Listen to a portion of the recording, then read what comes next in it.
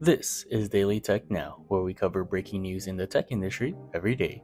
In today's news, the highly anticipated and rumored Apple VR headset is officially announced on Monday during Apple's Worldwide Developer Conference. Apple officially confirmed the rumors of their entry into the mixed reality headset market with the introduction of the Apple Vision Pro, this face-mounted spatial computer offers various functionalities, including VR, FaceTime, and the ability to watch movies in a living room-like setting on a screen that feels 100 feet tall. It offers familiar applications like Safari with floating screens in front of the user's face that can be resized at will. The device can be unlocked through eye scanning, and users can navigate through their eyes, voice, and fingers without requiring additional hardware. One of the significant announcements regarding the Vision Pro is its role as a gaming platform. Apple stated that the headset will feature games from their Apple Arcade subscription service. At the time of launch, users can expect to access over 100 Apple Arcade games on the Vision Pro.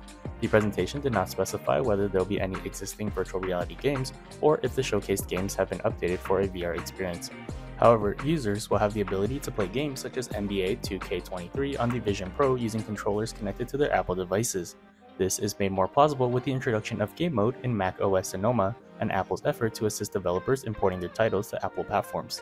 Apart from gaming, Apple also announced that Disney Plus streaming will be available on the Vision Pro. During the presentation, it was shown that Disney shows and movies will be augmented with additional information similar to the X-ray feature on Amazon Prime. The company unveiled its new high-tech goggles called the Vision Pro, which combine augmented reality and spatial computing.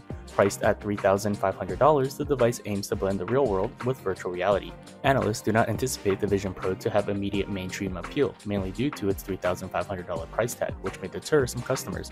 However, even if the device lacks broad appeal, it could serve as a valuable trial run for Apple, potentially leading to the development of a virtual reality product aimed at a wider consumer base, such as lightweight glasses. The Vision Pro could also position Apple at the forefront of the extended reality market, which encompasses virtual reality.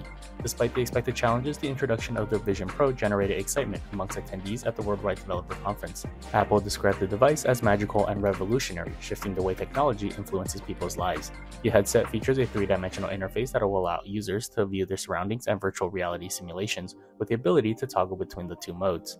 Apple also announced updates on new products during the event, including a 15 inch MacBook Air, improved computer chips, and operating system upgrades for various devices. The company made enhancements to Siri, introducing new features like Journal app and FaceTime video messages, and showcased improved AI capabilities such as recognizing family pets in photos and live voicemail transcriptions. However, unlike other tech giants, Apple did not extensively discuss the implication of artificial intelligence for their company during the event. This has been your daily tech news, and please subscribe and come back tomorrow for more.